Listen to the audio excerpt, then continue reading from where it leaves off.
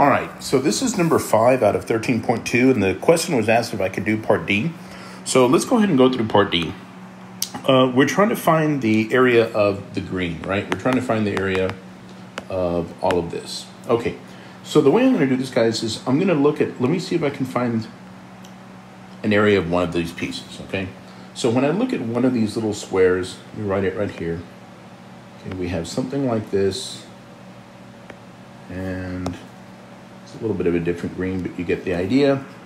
And since this distance here was 30, then we know this is going to be 15 and 15, right? And I'll talk about the, we'll get to the units in a minute. Okay, so first thing I'm going to do is I'm going to kind of modify that picture a little bit. And I'm going to say, suppose I had this, and I wanted to find the area of this kind of semi, not semicircle, but a, like a fourth of a circle, okay? So the formula for the area of my fourth of a circle, if the area of a circle is pi r squared, then if it's a fourth, it would just be pi r squared over 4. So we would say this is going to be pi. Uh, my radius we said was 15, so 15 squared over 4. So the area of my circle is going to be 225 pi over 4.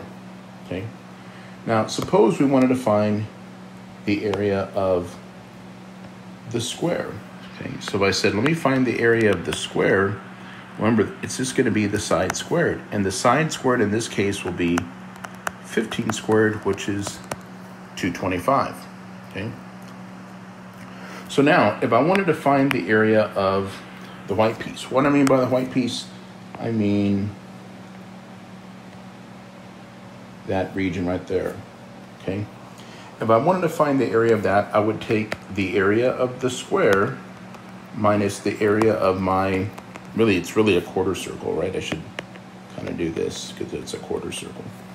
Okay, so the area of the white piece now would be, let's see, 225 minus, uh, the quarter circle was 225 pi over 4. And so now, um, let me take a quick look here.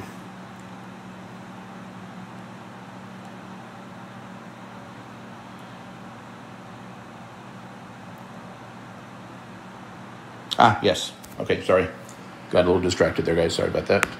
Okay, so now if I wanted to come back and find the area of this piece right here, so my original segment, I'm going to call it seg for segment. The way I would do this is I would take the area of my square minus 2 times the area of the white piece. Okay? So the area of my segment is going to be the area of the square, which we said was 225, minus 2 times the area of the white piece. Here's the area of the white piece.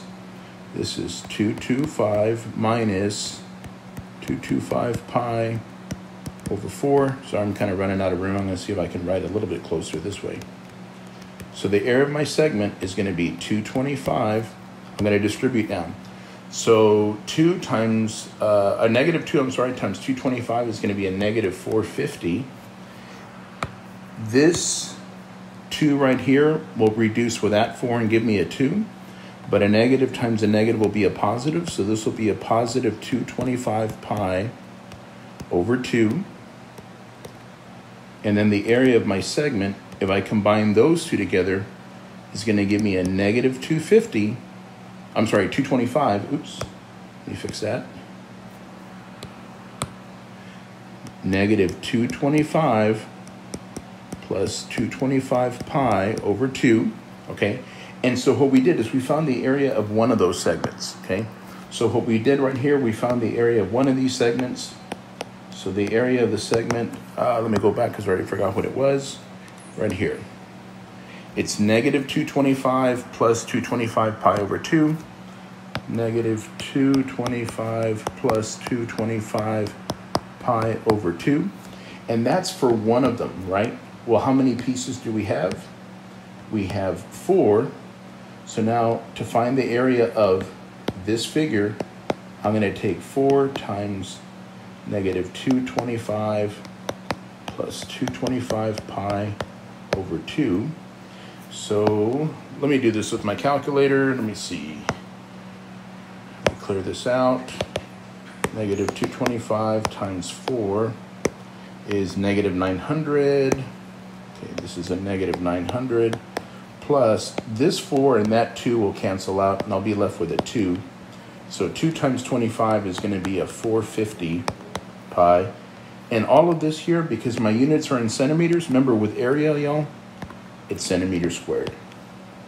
Okay? And that was number 5, uh, part D.